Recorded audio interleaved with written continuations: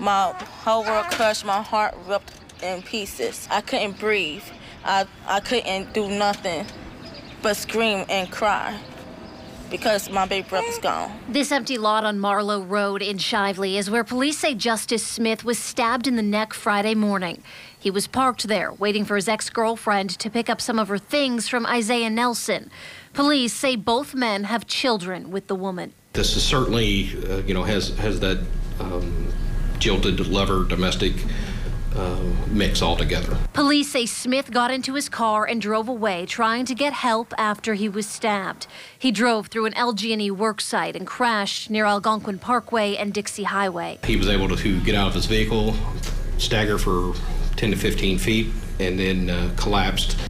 Police arrested Nelson on Saturday morning at an apartment in Jeffersonville. Smith's sister says her brother has had issues with Nelson in the past, but she never thought it would end like this. I was angry.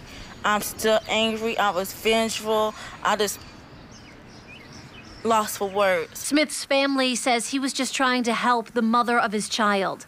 They say that's who he was, a helper. My brother had a big golden heart.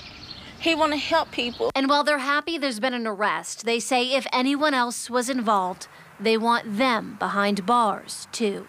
Justice was loved by everyone. And I'd rather for it to be justice legally than the street justice. Because if it was, if it's street justice, then that's more tears. There's more people to be buried.